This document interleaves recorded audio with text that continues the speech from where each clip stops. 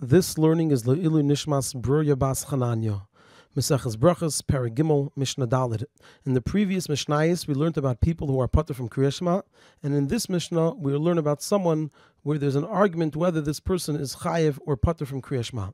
Bal Keri, a person who has the tumah of a Bal Keri, so a Bal Keri has certain halachas in the Torah. Besides for that, Ezra was Masakin. Ezra established that a Bal Keri is not allowed to learn Torah.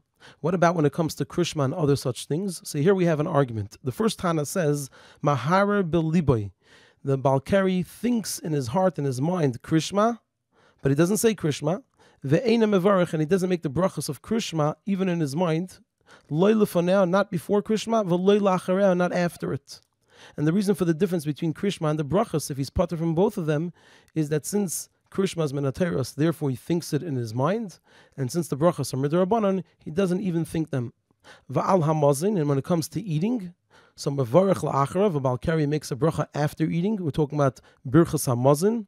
And when he says he makes a bracha, it means in his mind. The Ve'ena mevarech l'fanav, doesn't make a bracha before it, even in his mind. And again, the reason for the difference is since Birchas Hamazon is Menatera, that's why he thinks it in his mind. And since the bracha before eating is Medrabanan, so he doesn't even have to think it in his mind. This is the opinion of the Tanna Kamma.